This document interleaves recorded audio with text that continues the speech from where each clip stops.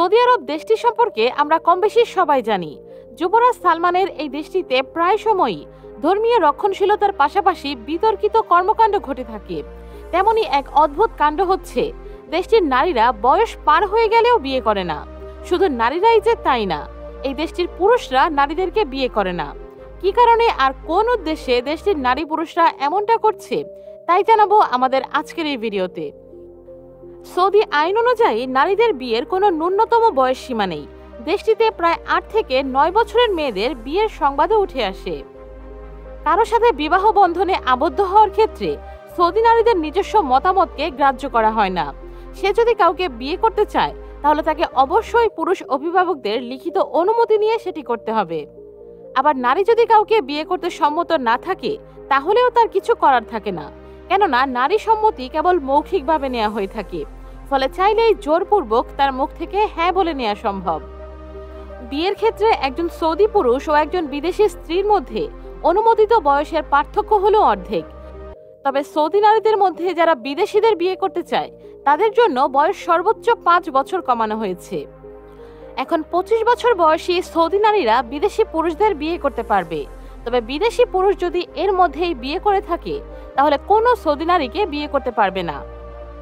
জেনে অবাক হবেন যে বিয়ের বয়স পার হয়ে গেলেও বিয়ে করে না সৌদি আরবের অনেক নারীরা।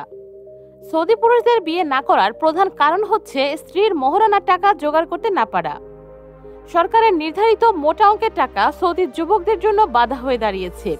এজন্য বাধ্য হয়ে বিয়ের স্বাদ পেতে বিদেশি মেয়েদের চুক্তিতে বিয়ে করছে সৌদি যুবকরা। এজন্য সৌদিতে বয়স শেষ হওয়ার পরেও অবিবাহিত রয়েছেন। বাউান্ন লাখ ছাব্বিশ হাজারের বেশি নারী পুরুষ। এর মধ্যে পুরুষ প্রায় ত্রিশ লাখ ও নারী বাইশ লাখ একষট্টি হাজার। এছাড়াও বিয়ের বয়স পার হয়ে গেলেও বিবাহ বন্ধনে আবদ্ধ না হওয়ার অন্যতম কারণ হচ্ছে অতিরিক্ত খরচ। এখন একটি বিয়ের খরচ প্রায় দুই লাখ রিয়েলে পৌঁছে গেছে। মূলত সামাজিক ও অর্থনৈতিক কারণে নারীরা বিবাহ জীবনে প্রবেশ করতে পারছেন না। জীবনযাত্রার খরচ বৃদ্ধি, কম বেতন, বিবাহের অতিরিক্ত খরচ দেরিতে বিয়ে করতে বাধ্য করছে। এছাড়াও সৌদি মেয়েদের দেরিতে বিয়ে করার আরেকটি কারণ হলো, বিয়ের পর ক্যারিয়ারের সুযোগ সুবিধা হারানো। একে অপরের কাছে শারীরিক ও মানসিক সমস্যা গ্রহণ করা, পারিবারিক দ্বন্দ্ব এবং অন্য বিবাহিতদের সাথে নিজেদের তুলনা ইত্যাদি।